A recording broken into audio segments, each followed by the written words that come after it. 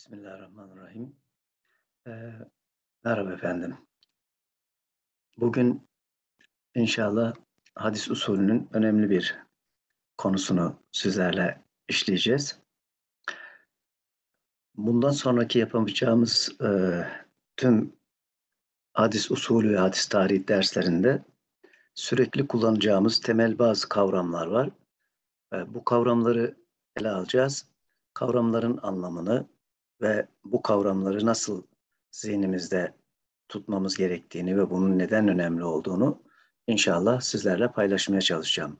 Hemen dersimizin e, konusuna geçmek üzere tahtamızı açalım.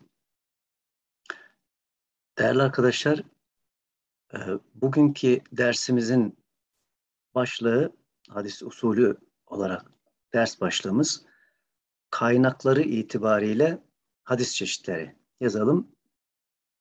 Kaynakları kaynakları itibariyle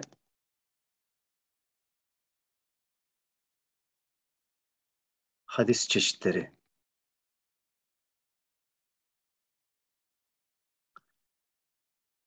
İlk dersimizden itibaren üzerinde durduğum e, ve bunu sürekli derslerimde tekrar ederek siz değerli izleyenlerimizin zihninde yer etmesini amaçladığım bazı kavramlara ilişkin e, benim hadis tarihi ve usulü derslerimde e, dikkate aldığım ve bunun önemli olduğunu düşündüğüm ve inşallah bu dersleri bitirdiğimizde ikinci düzey hadis usulü dersleri yaptığımızda bunları daha detaylı bir biçimde ele alacağım. Bazı hususları e, burada yine altın çizerek ifade etmek istiyorum. Kaynakları itibariyle hadis çeşidi dediğimizde bundan her zaman rivayeti kastetmiş olduğumuzu e, aklımızdan çıkartmayalım. Rivayetlerden söz ediyoruz. Yani kaynakları itibariyle hadis çeşitleri bize gelen rivayetlerden söz ediyoruz. Ama burada kaynaklardan da bahsetmemiz gerekiyor. Kaynaklar ifadesi kare içine aldığımız zaman siliyor demek ki kaynaklar kaynakları itibariyle evet kaynakları itibariyle hadis çeşitlerimiz. Burada kaynaktan maksadı belirtmek istiyorum. Kaynaktan maksat sözün sahibidir. Sözün sahibi. Daha önce de üzerinde durduğumuz gibi hadis söz demektir. Rivayet de bu sözün aktarımı demektir. Nakledilmesi. Dolayısıyla e, bizim geleneğimizde sözün ait olduğu şahsa zata bağlı olmak üzere e, affedersiniz bazı isimler kavramlaştırılmıştır. Şimdi bu kavramların üzerinde duralım ve bu kavramlara geçmeden önce de aklımıza daha önceki yapmış olduğumuz derslerden hareket ederek gelebilecek olan bir soruyu da cevaplayalım. Biz demiştik ki hadis Hazreti Peygamber'in peygamberlik vasfıyla yani Hazreti Muhammed'in peygamber olduktan sonra peygamber vasfıyla mübarek ağzından çıkan ve dini anlamda e, efendim bir karşılığı olan sözlerine hadis denir demiştik. Şimdi burada nasıl oldu da kaynağına göre hadis çeşitlerinden söz etmeye başladık ve sözün ait olduğu kimselere bağlı olarak e, kavramsal manada hadis e, sözcüğünün kullanılmış olduğu meselesi ortaya çıktı. Tabii biz bu dersimizde bir taraftan biraz bunu konuşacağız. Bir taraftan da e, geleneksel olarak öğretilen ve sizin de böyle öğrenmeniz gereken ve çünkü gireceğiniz e, hemen her sınavda bunlar çıkacak ve e, bu bilgiler size sorulacak. Öncelikle bu bilgileri öğrenmemiz gerekiyor ve sonra bu bilgilerle ilgili detaylar, teferruatlar bunlar e, ileri düzey okumalarda ve yapacağımız derslerde inşallah sizin için daha açık ve tebeyyün edecek hale gelecektir. Şimdi Bundan sonraki tüm derslerimizde de e, kullanacağımız e, bir şema çizmek istiyorum müsaadenizle. Bu şemamız bizim sürekli kullanacağımız ve sizin de muhtemelen göre göre ezberleyeceğiniz bir şema bu. Bunun isimlerinden de bahsetmiştik daha önce isnattan bahsederken. Ayrıca bir isnat bahsimiz gelecek. Orada da e, efendim uzun uzun konuşacağız. Temel kavramlar olarak da daha önce de bundan e, hadis tarihi dersimiz içerisinde söz etmiştik. Biz rivayetlerin kaynaklarımızda yer aldığı muhaddisten başlayalım. Muhaddis dediğimizde bununla hadis alanında bir eser yazmış, içinde rivayetleri toplamış, eser sahibi kişiyi kastediyoruz. Eser sahibi. Eser sahibi muhaddisimiz eserine almış olduğu rivayetleri, şu rivayet, bunlar rivayet olsun, bu rivayetleri kendisinden önceki bir raviden alır. Bunları daha sonra da çok konuşacağız. Bir raviden alır. Bu ravi rivayeti yine kendisinden önceki bir raviden alır. Genel olarak e, bu R harflerimizle raviyi kastediyoruz. Bundan sonra muhaddis bu iki kuşaktan sonra genel olarak tebe-i tabiine ulaşır. Büyük T ve küçük T altına yazalım. Tebe-i tabiin.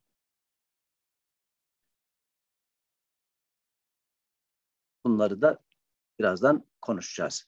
Tebe-i tabiine ulaşır. Tebe-i tabiin rivayeti doğal olarak tabiinden alır. Tabi'i yazalım. Tabi'i de rivayeti elbette S harfiyle gösteriyoruz. Sahabiden alır. Ve sahabi doğal, doğal olarak rivayeti Hazreti Peygamber'den alır. Hazreti Muhammed Aleyhisselatü Vesselam'dan alır. Şimdi değerli arkadaşlar bu görmüş olduğunuz kutucuklar bize bir isnat e, şemasını gösteriyor. Tekrar etmekte fayda var. Hatırlatmak amacıyla yazalım. Bir muhaddisin rivayeti bundan, onun ondan, onun da ondan, onun bundan, sahabiden ve sahabinin Hazreti Peygamber'den rivayeti almak suretiyle bu kitapta yer alacak şekilde muhaddisin de sonradan bu rivayetleri kitabına aktaracak şekilde toplamasına buna isnat diyoruz. Üzerine yazalım. İsnat. Bu konuyu müstakil olarak ileride konuşacağız. Ayrıca buna tarik denir. Gördüğünüz gibi yol demek tarik ve bu kareci, karelerden hareket ederek, kuşaklardan hareket ederek muhaddis rivayeti Hazreti Peygamber'e ulaştıran bir yol izlediği için tarik denmiştir. Yine isnat dayandırmaktır ve bu rivayetin Hazreti Peygamber'e ait oluşunun adeta senedi olduğu için senet denmiştir buna. Hani evin tapusu arabanın ruhsatı gibi rivayetlerin de isnatları onların ruhsatı ve tapusu hükmündedir ve bunun adı senettir. Ve bu ravilerin birbirlerine rivayetleri dayandırmalarına müsnet dendiği için aynı zamanda buna müsnet de deriz. Ve bir başka adı da vecihtir. Vecih de yönelmek, yüz yön dönmektir. Muhaddis rivayeti almak üzere Hazreti Peygamber'e doğru yöneliyor ve işte bu yöneliş, bu efendim e, rivayeti elde etme teveccühü, yönelişi bunun adına vecih de denir. E, ama hepsi e, şöyle söyleyelim, bunların tamamı parantez içine aldığımız bu ifadelerin tamamı değerli izleyenler müşterek anlamdadır ve hepsi şu karelerle Hazreti Peygamber'e ulaşmayı ifade eder. İsnat dediğimizde de bunu kastederiz. Tarik dediğimizde de senette, müsnette, vecihte. Ama tabii bu kelimelerin tamamının ileri derslerimizde ve daha sonraki yapacağımız derslerde üzerinde duracağımız üzere nüans farkları var, farklı kullanımları da var. Onları da yeri geldikçe sizlerle inşallah paylaşmaya çalışacağız. Peki şimdi konumuza dönecek olursak. Kaynaklarına göre hadis e, dediğimizde bundan ne anlıyoruz? Evvela kaynaklarına göre hadis dediğimizde bunu, hatta farklı renkle yazayım. Bu genel karemize bir kutucuk daha ilave ediyoruz. Buraya da Allah Celle Celaluhu yazıyoruz. Genel olarak böyle kabul edildiği için biz de böyle öğretiyoruz. Ama bununla ilgili bazı hususlara dikkatinizi çekeceğim. Şimdi dedik ki kaynağı itibariyle hadis çeşidi demek söz kime aitse sözün sahibi dedik şurada değil mi? Sözün sahibi. Şimdi eğer söz Hazreti Peygamber'e aitse buna merfu denir. Merfu. El merfu. Evet. merfu denmenin sebebi e, değerli arkadaşlar merfu sözcüğü bu sözcük refa'a sözcüğünden ismi mefuldur. O da yükselmek, yükseltmektir. Muhaddis kendisine ulaşan bir sözü Hazreti Peygamber'e kadar bu isnat üzerinden yükselttiği ve söz gelebileceği en yüksek yere yani Hazreti Peygamber'e eriştiği için buna merfu denilmiştir. Ve merfu dendiğinde merfu hadis dendiğinde merfu hadis merfu hadis dediğimizde bundan Hazreti Peygamber'in sözünü anlarız. Istilahi olarak merfu Hazreti Peygamber'e ait sözdür. El merhu huve kavlun nebi sallallahu aleyhi ve sellem. Allah Resulüne ait söz demektir. Peki eğer söz sahabiye aitse yani yani muhaddis bir söz duydu. Bu sözü isnad olarak getirdi sahabiye. Meğer söz sahabiye aitmiş. Sahabinin kendi sözü. Buna mevkuf diyoruz. Mevkuf hadis. Mevkuf. El mevkuf. Mevkuf hadis. Bu sözcükte değerli izleyenler vakafa sözcüğünden ismi mefuldur. Vakafa durmak demektir. Durmak. Nihayete ermek durmaktır. Dolayısıyla e, bir söz sahabiye aitse, örnekleyeceğim birazdan, sahabiye aitse o zaman biz bu rivayetin mevkuf olduğunu söylüyoruz. Sahabiye ait söz. Peki eğer sözün sahibi tabii ise, tabiye ait bir sözse, o zaman tabiiye ait bir sözü biz maktu olarak kavramsallaştırıyoruz. Daha doğrusu kavramsallaştırılmış. Biz de öyle kullanıyoruz. El maktu El maktu Maktu kata maktu ismi meful kata'dan kesilmek, kopmak demektir. Bunların ikinci düzey hadis usulü derslerimde bu kavramların e, nasıl anlaşıldığında ve tanımlandığında daha doğru bir kavram, hadis usulü kavramı olacağına ilişkin inşallah çok detaylı dersler yapacağız sizinle. O zaman bunların üzerinde ayrıca duracağım. Şimdilik genel kabul gören ve size sınavlarda çıkacak olan anlamları üzerinde durmaya çalışıyorum. Ve bu sözcüğümüzde söylemeye çalıştığım gibi kata'a sözcüğünden türemektedir. Kesilmektir. Ama burada maktu dediğimizde tabiine ait bir sözü kastediyoruz. Peki biz şimdi bunları biraz daha netleştirerek yolumuza devam edelim ve her birerleriyle ilgili bir söz söyleyelim, bir söz söyleyelim ve bunu e, zihnimizde netleştirelim. Mesela bir tabii yazalım. Meşhur tabi İbn Şihab Ez-Zuhri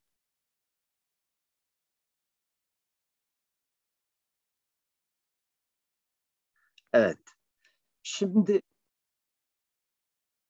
İbn Şihab Ez-Zuhri diyor ki örneğin gece namazını ihmal etmeyin. İhmal etmeyin. Bunu kim söylüyor? İbn Şihab Ez-Zühri. Muhaddisimiz rivayetleri izledi, geldi, tabiye ulaştı. Bu söz tabiye ait. Öte gitmiyor. Sahabiyle bir ilgisi yok. Hazreti Peygamberle bir ilgisi yok. Kendi kanaati. Böyle bir şey söylüyor. Bir söz söylüyor. İşte bu söz tabiye ait olduğu için buna maktu hadis diyoruz. Ama niye hadis dediğimizi birazdan konuşacağız. Saha, tabiye aitse bunun adı aslında şöyle de yazalım. Bu kavlu tabi'idir. Değil mi? Evet, kavlu tabi'i. Pardon. Değil yaz.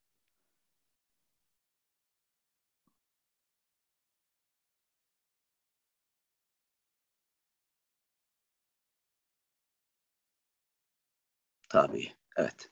Kavlu tabidir. Peki e, niye hadis diyoruz? Birazdan konuşacağız. Aynı sözü aynı sözü Ebu Hureyre söylesin. Radıyallahu anh. Ebu Hureyre radıyallahu anh söylüyor. Aynı söz. Aynı söz. Yani gece namazını ihmal etmeyin diyor. Buna ne diyoruz? Mevkuf hadis. Aynı sözü Hazreti Peygamber söylüyor. Evet. Benim namaz kıldığım gibi kılın diyor.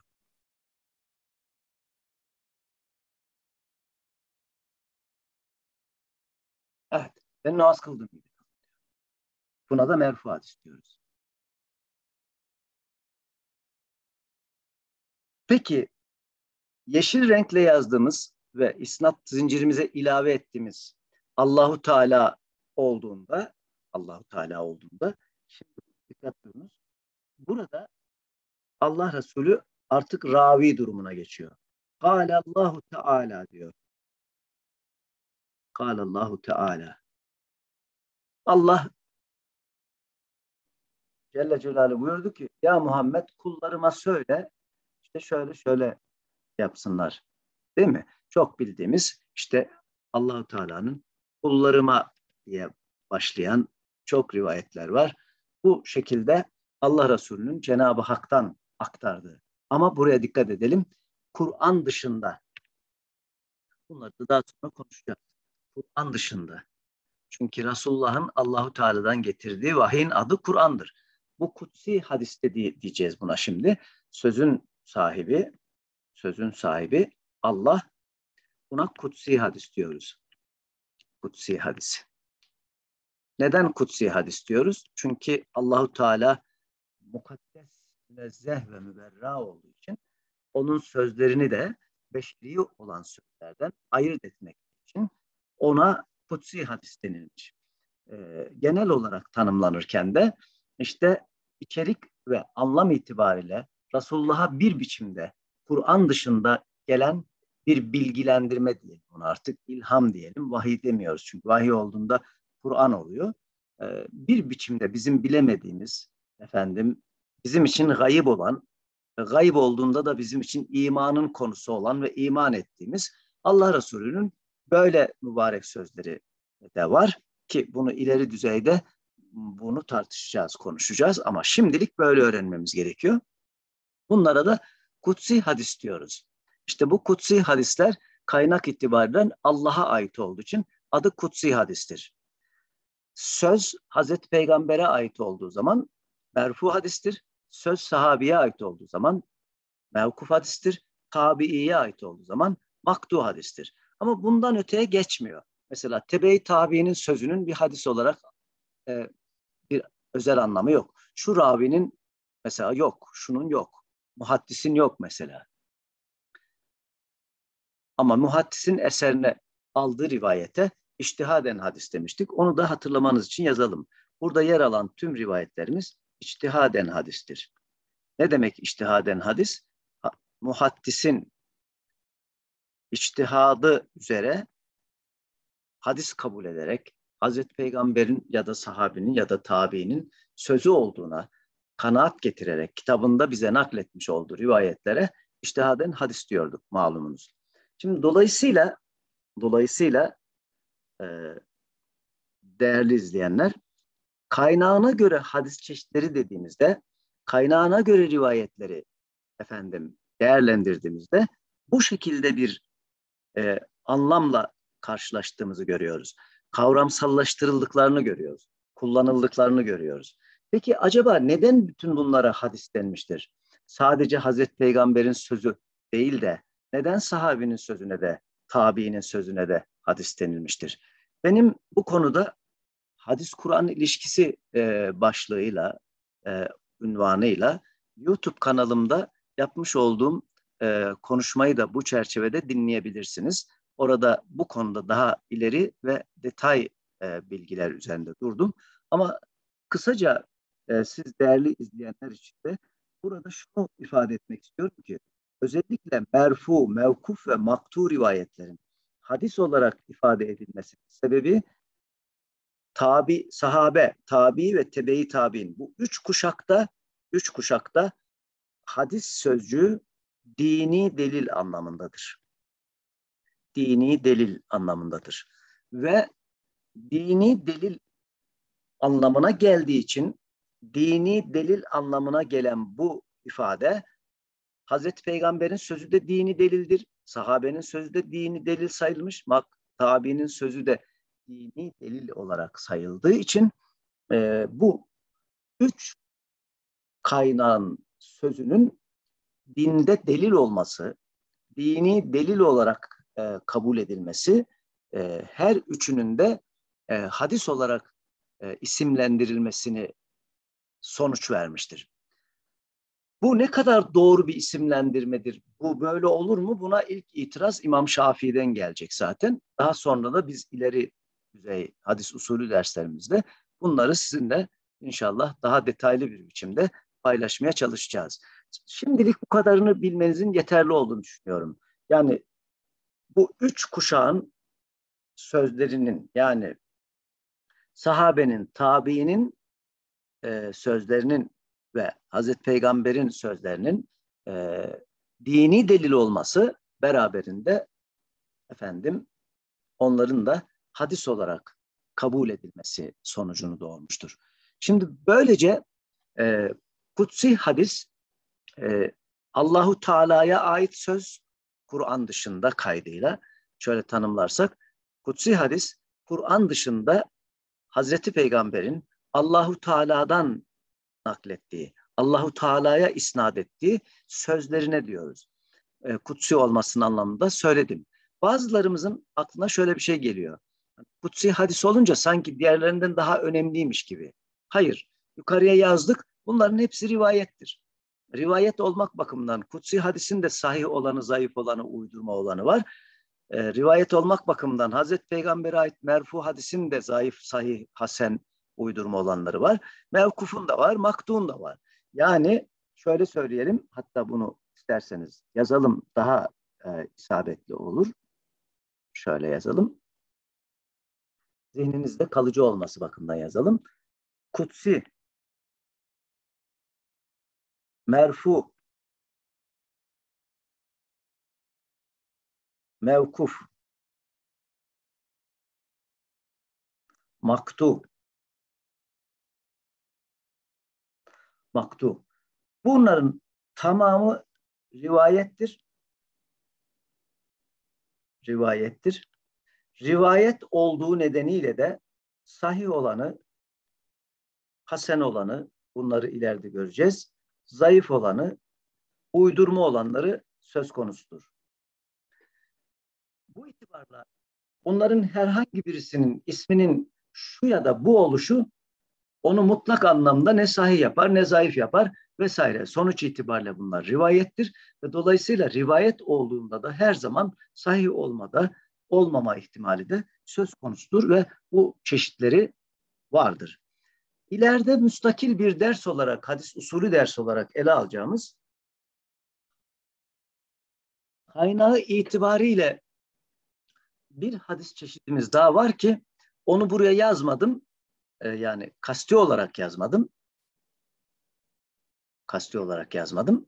Çünkü e, bu ayrı bir alanın ayrı bir e, efendim hadis tarihinde çalışmanın e, konusu olduğu için ama burada izleyenlerimizin bu dört e, efendim rivayet kaynağı itibariyle hadislerin isimlerini öğrendikten sonra buraya bir de mevzu hadis yazalım. Mevzu hadis. Bakın bunun da yine adı mevzudur. Şey hadistir. Mevzu. El mevdu. Vada'dan uydurulmak demektir. Uydurma. Uydurma. Yani yalancı, kezzap birinin Hazreti Peygamber'e Hazreti Peygamber'e onun söylemediği bir sözü isnat etmesidir.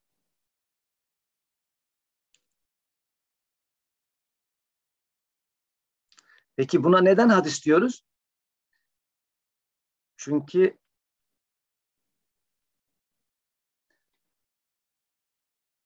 tespit edemezseniz hadis diye kabul etme tehlikesi var. Yani peygamberin sözü olma tehlikesi var. Ve nitekim de kaynaklarımızda bu tehlikenin boyutlarına e, geleneğimizde tüm seleflerimiz, muhaddisleri ve ulema e, dikkatimizi çekmişler. Bunlar üzerine de çok önemli eserler yazmayı da ihmal etmemişler. Ruhları şad olsun. Şimdi değerli izleyenler, kaynağına göre hadis çeşitleri dediğimizde bu ana kavramları yani kutsiyi, merfuyu, mevkufu, maktuyu ve mevzu hadisi. Bu beş kavramı gördükten sonra yine hadis usulü kaynaklarımızda genel olarak birlikte ele alınan ve genel olarak birlikte e, değerlendirilen üç kavramımızdan daha istiyorum müsaadenizle.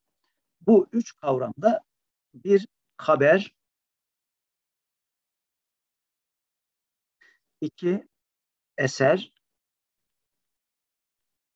üç sünnet sözcükleri. Evet.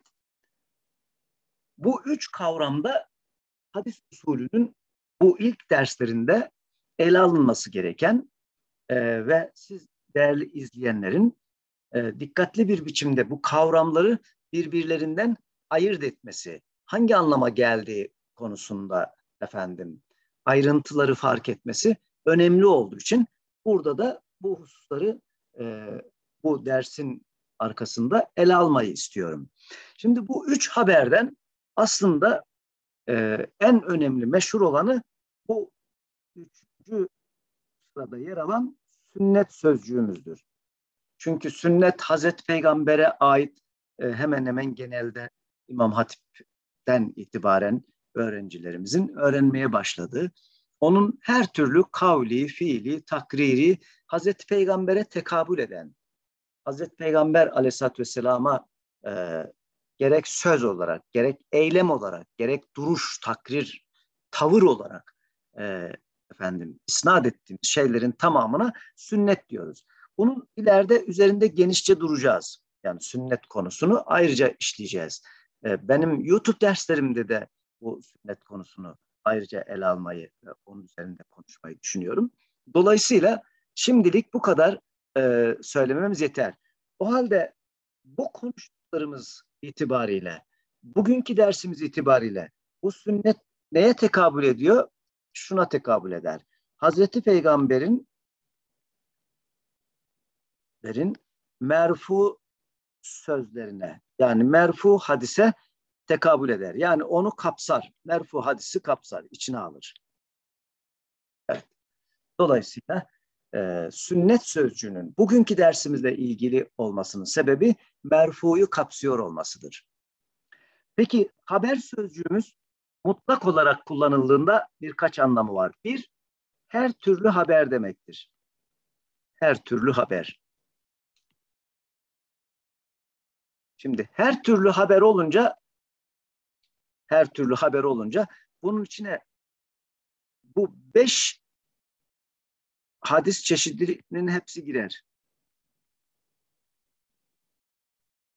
beş çeşit hadisin tamamı bunun içine girer.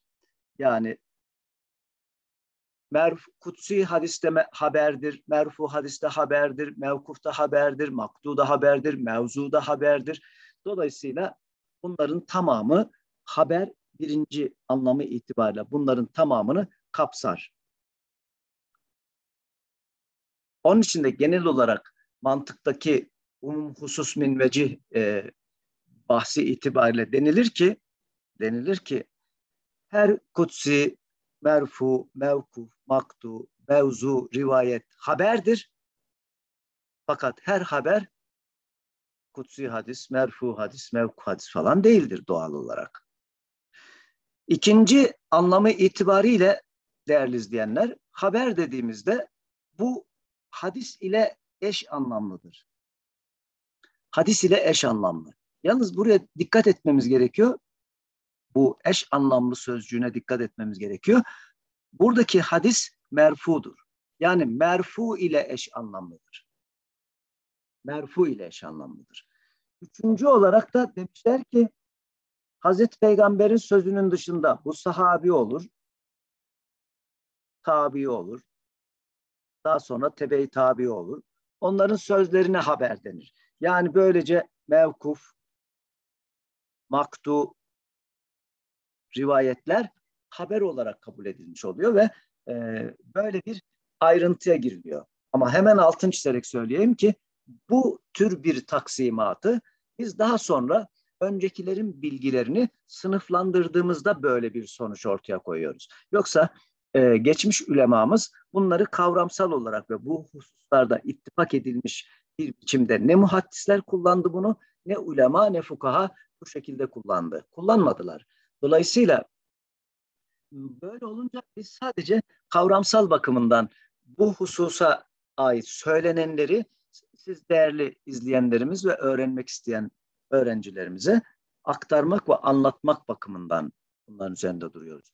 Eser kelime itibariyle iz bırakmak, iz, arkada bırakılan eser anlamına gelir. Dolayısıyla geride bıraktıklarımız demektir. Ve Hazreti Peygamber'in mübarek sözleri de onun geride bıraktıkları olduğundan dolayı e, eser de denmiştir. E, hatta geçmişi arayan, geçmişe ait bulgular üzerinde çalışan kimselere el-eferi denmesi arkeologlara e, buradan geliyor. E, bu nedenle e, eser sözcüğünün Hazreti Peygamber'e ait efendim mirasını araştırmak, muhaddislerin, ravilerin bunu araştırmaları da onlara eseri de denebilir ve bu araştırdığımız şeye de eser denmesi gayet normaldir. Bu itibarla birinci anlamı eserin birinci anlamı e, merf hadisle eş anlamlıdır. Hadis ile eş anlamlı haberde olduğu gibi eş anlamlı. Yalnız buradaki hadisten de yine merfunun kastedildiğini söylememiz lazım. Merfu ile eş anlamlıdır. İkincisi de ikincisi de bazı muhaddisler ve özellikle de e, Orta Asya civarında, Horasan civarı e, ülema ve muhaddislere ait olduğu söyleniyor kaynaklarımızda. E, mevkuf ve maktunun yani sahabe ve tabiine ait kavillerin, sözlerin eser olarak ifade edildiğini görüyoruz. Ancak e, bu konuda da bir ittifaklık olmadığını söyleyelim. Çünkü e, elimizdeki Kitabul Asar şeklinde yazılan e, eserlere baktığımızda bunların böyle çok da net bir biçimde kavramsallaşıp e, özel bir anlamda kullanılmadıklarını görüyoruz. Nitekim müşkilil asar ifadesi içerisinde e, e, yer alan rivayetlere baktığımızda bu söylediğimizin e, ne kadar yerinde olduğunu görmek mümkündür. Çok e, detaylara inmeden bugün hadis usulü dersimizde gördüklerimizi toparlayacak olursak değerli arkadaşlar hemen şöyle yukarıya çıkalım. E, kaynakları itibariyle hadis çeşitlerini ele aldık. Hadisten maksadın rivayet olduğunun altını çizdik. Kaynaktan maksadın sözün sahibi söz kime aitse onun kastedildiğini ifade ettik. Sonra bir isnat şeması çizdik. Muhaddisten başladık Hazreti Peygamber'e. Bugüne özel olmak üzere de Hazreti Peygamber'in de ravi olduğu, Allahu Teala'ya ulaşan, ona e, onu da içine alan e, kareyi de efendim çizerek. E, böylece e, hadis çeşitlerini gördük. Kutsi hadis Allahu Teala'ya ait Peygamber Efendimizin naklettiği sözler, merfu hadis Hazreti Peygamber'in kendi şahsına ait sözler, mevkuf sahabinin kendi şahsına ait sözler, da tabiinin kendi şahsına ait sözler. Bir de yalancı kezzapların uydurmuş olduğu mevzu hadislerden söz ettik. Bunlar da e, Allah Resulüne ait olmadığı halde yalancı insanların ona aitmiş gibi piyasaya sürüp naklettikleri uydurma sözlere de yine uydurma hadis dendiğinden ve bunların her birerlerinin kutsi, merfu, mevkuf, maktu ve mevzu bunların her birerleri rivayet olmaları bakımından sahih olanlarının, hasen olanlarının, zayıf olanlarının ve uydurma olanlarının mevcud olduğundan söz ettik. Bir de bütün bunlara neden hadis dendiğine dikkatinizi çektim ve hadis denmesinin sebebinin de bu sözlerin dinde delil olarak kullanılmış olmasından kaynaklandığını yani ilk e, iki buçuk asır içerisinde özellikle de İmam Şafii'nin etkinleşmeye başlamasına kadarki süreçte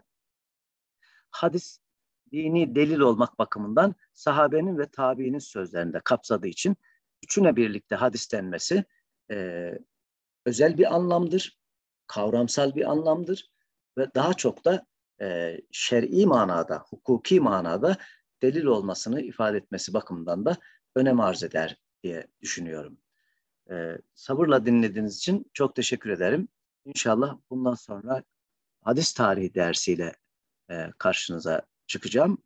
E, bunları hadis tarihine, hadis tarihini hadis usulüne irtibatlandırmak suretiyle inşallah konularımızı işlemeye devam edeceğiz. Tekrar görüşünceye kadar Allah'a emanet olun efendim.